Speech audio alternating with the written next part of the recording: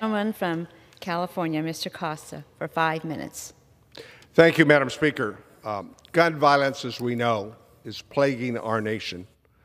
In 2022, this year, there have already been 200 mass shootings in the United States. Think about that. Absolutely horrific. And so, when is enough is enough? We ask ourselves. Our constituents across the country ask us how many more innocent people must die before any reasonable, common sense gun reform legislation can pass and add more protection for the American public?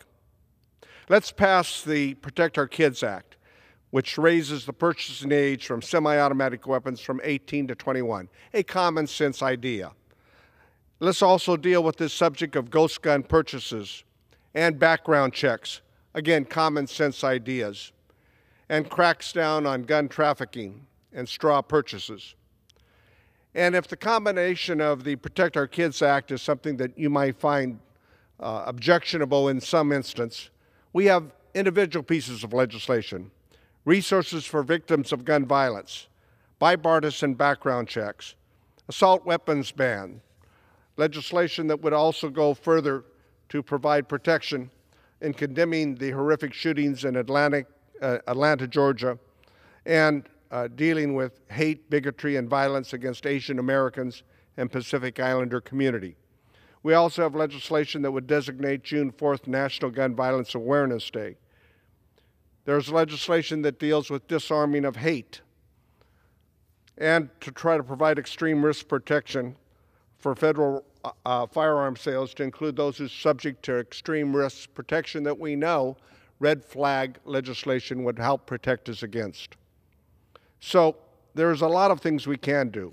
Will we totally eliminate the threats to, to the public? Of course not. But there are common sense ideas we can do to improve and increase safety for our schools, for our churches, and for people that are just going to shop for groceries one afternoon. These are things we can do and we should do. As chair of the Congressional Crime Survivors and Justice Caucus, I am advocating for resources for survivors of gun violence to cope with their trauma, whether it be in Sacramento or Fresno or anywhere else around this country.